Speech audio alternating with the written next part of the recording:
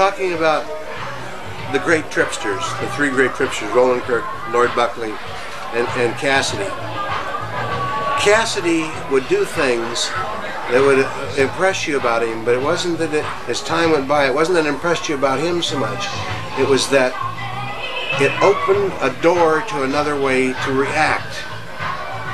One time he was driving back from Santa Cruz along the highway, and I knew that he had 28 outstanding moving violations pending against him. This cop pulled him up because he'd made a, uh, a U-turn there on this highway.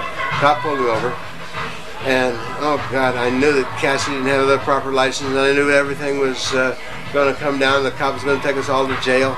And Cassie looked in the mirror at this cop and saw him come up, and I did too. And I thought, oh shit, we really fucked. Look at him. He's the brim of his hat is polished. His sideburns are absolutely perfect. His boots gleam. You could you could uh, shave in those boots. Everything is absolutely perfect. The guy said came to casting and says, "Can I uh, see your license?" Oh yes, sir, officer. Yes, sir, officer. And he reaches in and gives his license.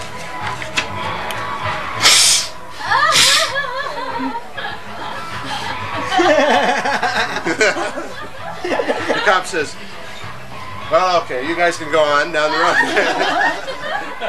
and you know, who would have thought about that? But what it made me think is that between here and here, there's thousands of little tiny choices that you can be making all the time. It's not this and this. There's all of these other little choices that are going on in between it. And Cassady You, you would do out the that. mind parasites there.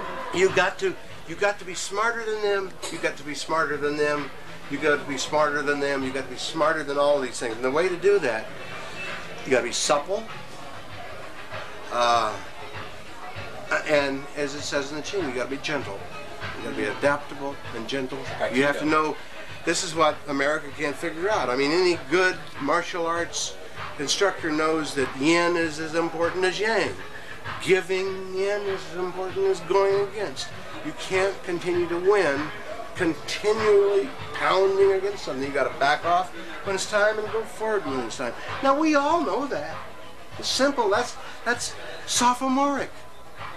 But do you think you'd make it understood in the in the Senate? I mean, look what's happened in this nation. What they have done is.